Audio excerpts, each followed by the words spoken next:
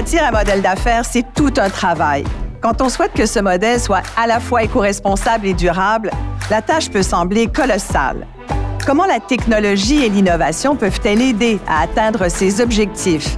Et quelle est la part de l'humain dans le développement de l'entreprise? Dans cet épisode de Libre-Échange, on parle de la place grandissante du développement durable dans les modèles d'affaires innovants. Sur le terrain, Jean-Michel Vanier, vice-président finance de l'entreprise Les Fermes Lufa, Nancy Goudreau, directrice générale financement durable chez Desjardins Entreprises, et Alexandre Guindon, directeur général et cofondateur de 2 degrés. Je m'appelle Isabelle Maréchal. Bienvenue à Libre-Échange.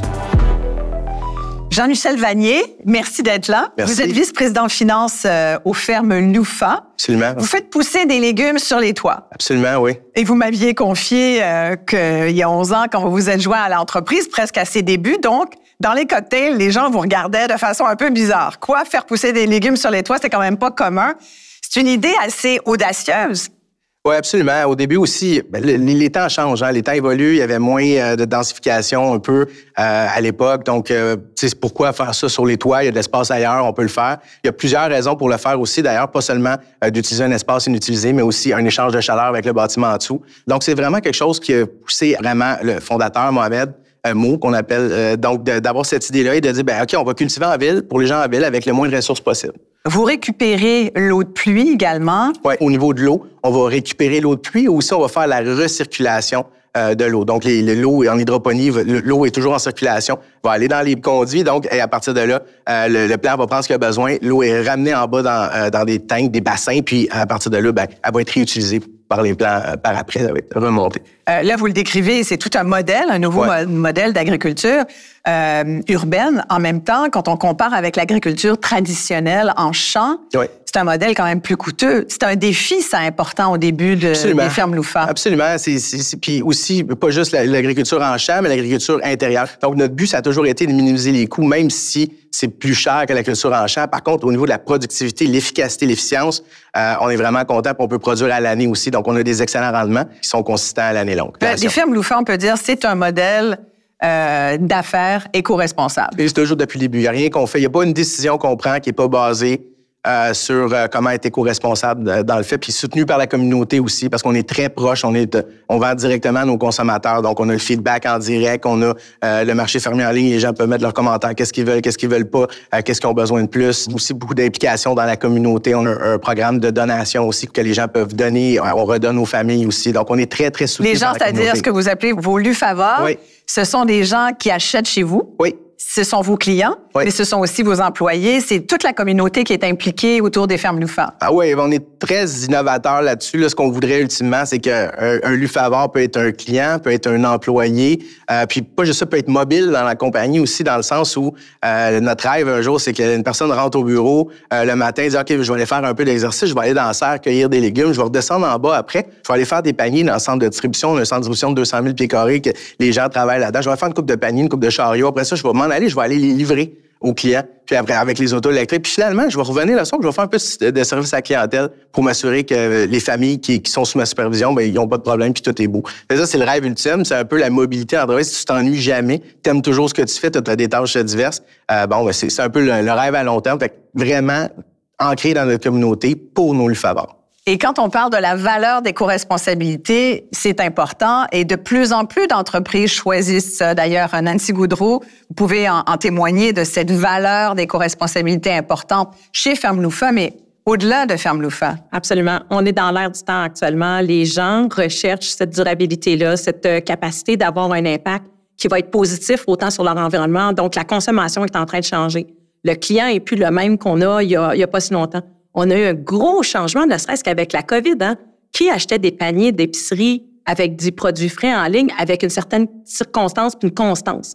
Aujourd'hui, c'est c'est courant. Et la proximité que vous apportez, c'est que non seulement vous avez amené à la durabilité au niveau du produit, l'éco-responsabilité du produit, mais on a amené aussi dans la logistique qui est autour de ça, ce qui est aujourd'hui très difficile. On Ouais. utilise des camions, on est obligé de se déplacer. Là, tu te rapproches énormément du client, puis c'est ce que vous apportez. Il y a de l'innovation non seulement les technologies que vous avez apportées, mais également dans la logistique que vous avez faite. Et quand on parle du durable, c'est non seulement le produit, mais c'est également toute la chaîne de comment il est produit et comment il est livré et amené au consommateur. C'est là que vous gagnez peut-être rajouter que vraiment, c'est au niveau de la chaîne au complet, là, vraiment. C'est sûr que nous, quand on livre aux clients, c'est une boîte qui est reprise la semaine d'après ou la journée d'après, tout dépendant comment de livraison euh, le, faveur veut avoir par semaine. Puis euh, tout est repris, relavé et réutilisé la semaine d'après. Donc, à partir de là, euh, notre impact, on l'a pas encore calculé, mais c'est quelque chose qu'on veut faire avec les cycles de vie des produits, tout ça. Mais c'est notre impact est illimité, je pourrais dire. Livrer aux clients euh, de l'épicerie éco-responsable, euh, avec le, en utilisant le moins de ressources possible. C'est vraiment notre objectif. On veut changer euh, la chaîne alimentaire, on veut changer euh, les processus actuels, les camions qui arrivent du Mexique, on n'en veut pas, on veut de la production locale, on veut des produits qui sont faits près des gens, mais qui sont vendus à des prix raisonnables aussi. C'est important d'en parler parce que... J'allais vous amener là, Jean-Michel, parce qu'on a vécu quand même des, années, Nancy parlait de, de, la COVID, la pandémie nous a fait prendre conscience aux gens aussi qu'on pouvait être dépendant des ressources extérieures et que c'était pas la meilleure chose, qu'on aurait avantage à être autonome d'un point de vue alimentaire. Mais là où j'allais, c'est aussi que cette inflation qu'on vit d'un point de vue alimentaire, comment vous y répondez, vous, Ferme Lufan? Parce que c'est devenu une considération importante pour les gens, pour les consommateurs. Oui, non, absolument. Le, le, le but, c'est pas de, vendre au prix le plus bas du marché. Le but, c'est toujours, l'objectif, c'est toujours de vendre à un prix euh, qui, est, qui est honnête, qui est responsable, qui reflète bien les efforts qui ont été euh, mis pour produire. faut donc euh, à ce niveau-là, euh, on essaie d'être le plus efficace possible. On essaie de faire des superficies qui sont plus grandes pour essayer d'avoir plus de productivité. Il faut arriver avec euh, une structure de prix euh, qui est agressive, qui fait du sens, mais les gens, tout en sachant quel genre de produits qu'ils achètent aussi. Euh, faut comparer avec les produits locaux, qui sont qui sont cultivés sans pesticides, insecticides, fongicides chimiques. Donc à ce niveau-là, quand on prend ce, comparable-là pour nos produits à nous et les produits de nos fournisseurs aussi, ben on vise d'être moins cher que la compétition à ce niveau-là. C'est notre niche. On veut essayer de promouvoir ça, promouvoir l'agriculture locale avec des prix très compétitifs.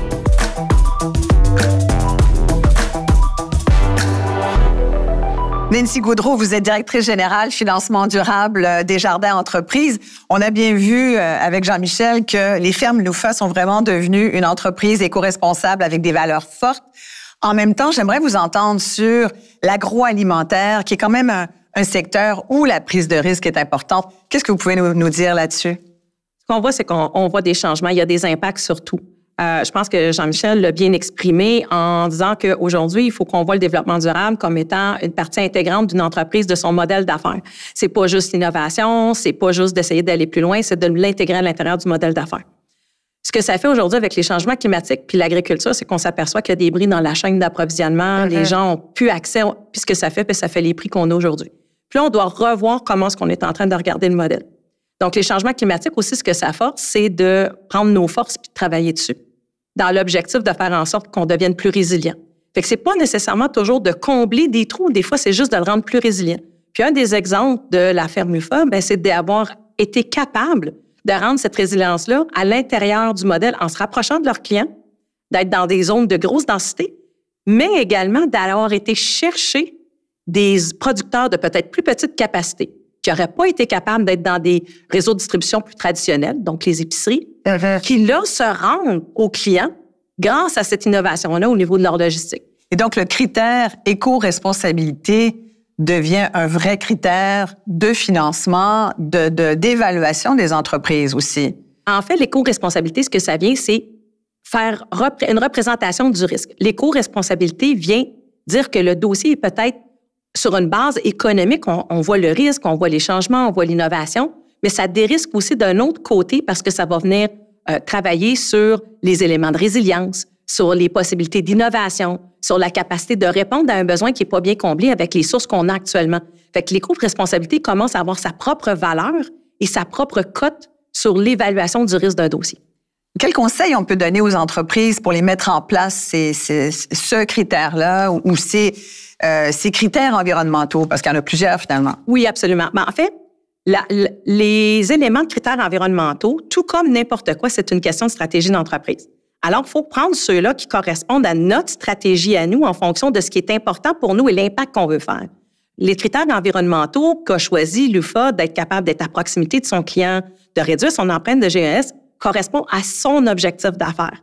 Quand vous êtes une autre entreprise, ben peut-être que c'est un autre, c'est peut-être euh, de vouloir euh, réduire la consommation d'énergie. Ça, peut être d'autres choses. Alexandre Guindon. Euh, c'est une opportunité d'innovation extrêmement importante aussi. Puis de créer l'économie de demain, de créer l'économie dans laquelle les générations actuelles, les générations futures ont envie de vivre. C'est plus qu'une mode, vous diriez? C'est plus qu'une mode. C'est plus qu'une mode, mais on est dans un contexte actuellement, selon moi, historique d'un point de vue de transition énergétique, de transition écologique, même de transition sociétale. Euh, il y a quelques années, par exemple, c'était pas pareil. Il y a quelques années, on parlait de transition énergétique, de transition écologique, c'était des Greenpeace, c'était des ci, c'était des ça, puis puis c'était extrêmement important ce qu'ils faisaient aussi. Mais de parler d'économie et d'environnement ensemble, c'était deux mondes. Malheureusement, ça parlait pas bien ensemble. Exact. Vous avez tellement raison, Alexandre. Et c'est pour ça, Nancy, que je trouve ça fascinant que vous, vous appeliez financement durable. C'est pas une expression courante. Absolument. Euh, le financement durable, c'est quoi? En fait, la raison, c'est qu'on a volontairement mis financement durable et non pas finance durable pour bien mettre l'emphase sur l'utilisation du financement qu'on octroie aux entreprises dans l'objectif de propulser ces entreprises-là vers l'intégration de d'initiatives, de projets pour qu'ils soient plus durables, pour qu'ils soient plus éco-responsables, pour qu'il y ait des impacts positifs sur l'environnement. Fait que quand on parle de financement, ça donne une impression ou un impact d'action versus finance responsable qui est souvent un peu passif. Mm-hmm. Et c'est donc volontairement qu'on a choisi financement durable. Et là, on comprend qu'il y a une vraie valeur ajoutée à être une entreprise éco-responsable. Est-ce que vous diriez qu'aujourd'hui, l'empreinte carbone, c'est vraiment un facteur décisionnel et dans le financement, mais dans les stratégies d'affaires des entreprises? Définitivement pour la grande entreprise. Pour la PME et la moyenne entreprise, pour l'instant, c'est encore un peu plus euh, embryonnaire. Ceci étant dit, on le sent bien, les standards sont en train d'être mis en place, on sent cet impact-là et n'oublions pas, on fait partie d'une chaîne d'approvisionnement de quelqu'un que ce soit au niveau de nos fournisseurs, que ce soit au niveau de nos clients. On fait partie d'une chaîne d'approvisionnement. Et oui, l'empreinte carbone va commencer à être euh, parmi les éléments que les gens vont regarder, que ce soit vos clients, que ce soit vos fournisseurs. Il y a des raisons pour lesquelles on s'en va vers des technologies propres, parce que qu'est-ce qu'on essaie de faire, c'est de produire et de réaliser le même produit, le même service, mais en réduisant l'impact sur l'environnement, parce que la terre de demain, on va tous être dessus. Nos enfants vont être dessus, puis il faut qu'elles soient dans le même état qu'on l'est aujourd'hui ou mieux. Euh, Jean-Michel, ça, fait donc, c'est beaucoup de responsabilités, puis en même temps, d'autres défis pour, pour les fermes Loufa. Au fil des années, on a vu l'évolution, comment le marché euh, l'acceptabilité du marché pour, pour, une entreprise comme la nôtre, comment les portes se sont ouvertes aussi. Donc, on souhaite le plus possible qu'il y ait d'autres entreprises qui suivent la parade. Euh, c'est déjà le cas, en fait. Donc, technologie propre, le plus possible, comment on peut financer euh, comment des partenaires comme Desjardins, euh, des incubateurs, après, peuvent aider ces entreprises-là euh, à devenir des, des, des, fleurons québécois, puis comment on peut travailler avec eux aussi. Comment les aider à travers, à travers ça à, devenir des, des, entreprises prospères et durables. C'est ça aujourd'hui où est-ce qu'on s'en va. C'est une bonne gestion de risque. Si on revient aux critères ESG qu'on entend parler partout, là, critère E, environnement, critère S de social, critère G de gouvernance, ce qu'on essaie de dire à leurs entreprises, c'est de revoir la bonne gestion des risques de leur entreprise. Ça prend une bonne gouvernance. Ça prend une bonne compréhension de l'impact social, comment on, encadre nos employés. Ça prend une bonne compréhension de nos impacts environnementaux. Et on s'en va dans la direction où éventuellement, ces impacts-là vont être comptabilisés dans le risque que je vais prendre d'une entreprise, ce qui veut dire que quelqu'un pourrait se retrouver dans une situation où termes et conditions de financement seraient peut-être pas aussi attrayants qu'il le souhaiterait parce que le risque qu'on prend comprend ces critères-là en plus. Et ce qui est, ce qui est bien aussi, c'est qu'une entreprise qui serait beaucoup plus éco-responsable qu'une autre pourrait avoir des avantages concurrentiels. Exactement. C'est dans cette direction-là que le marché s'en va.